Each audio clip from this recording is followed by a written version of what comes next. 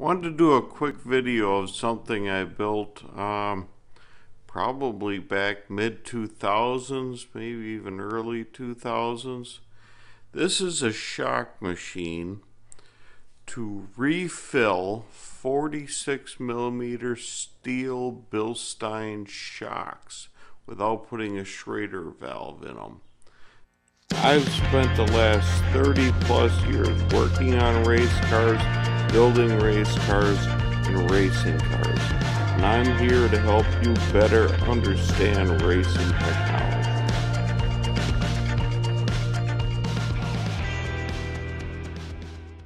This is uh, a good way to repair them or even cheat on shocks. You wanted to uh, cheat on shocks a little bit, put your own stuff in them. It's for sale. I got it for sale for a hundred bucks. I don't want to ship it, so it's local pickup only. Uh, here in New Berlin, Wisconsin, which is just outside of Milwaukee. If somebody wanted to come pick it up, I'll give you everything for a hundred bucks.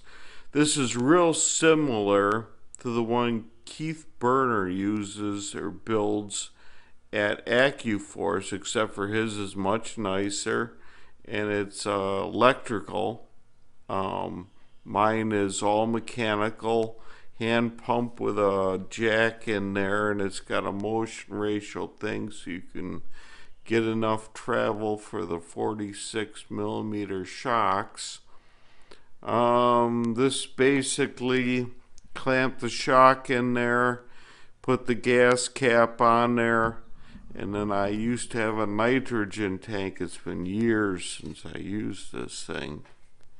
Um, put a nitrogen tank on over here and you can adjust your input gas pressure. You can't, you know, if you want a lower gas pressure because you're starting with the piston tall, um, you always push it down in and start with a lower gas pressure. I believe I started with a gas pressure around 20 or so, maybe even a little less if you want to get a little less gas in there.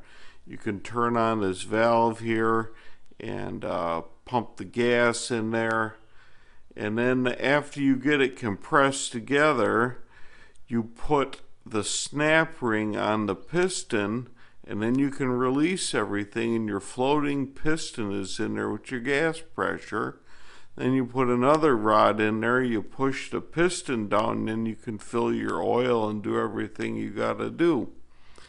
So that is uh, a Bilstein gas pressure fill machine or actually a gas pressure and a, a liquid fill machine. Like I said, a 100 bucks.